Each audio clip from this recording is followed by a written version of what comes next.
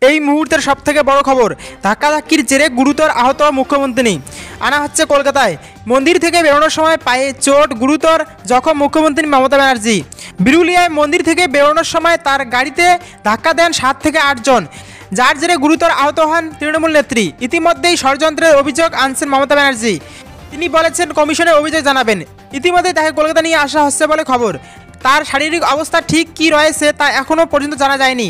সূত্রের খবর, তিনি আজ মনোনয়ন পেশ করেন হলদিয়ায় মহকুমা শাসকের কাছে। তারপর ফিরে আসেন নন্দীগ্রামে।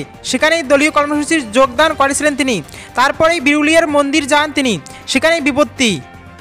তো বন্ধুরা, এই ছিল এখনকার সব থেকে বড় খবর। যদি খবরটি ভালো লাগে থাকে, তাহলে অবশ্যই আমাদের চ্যানেলটিকে সাবস্ক্রাইব করে আমাদের পাশেই থাকবেন। ধন্যবাদ।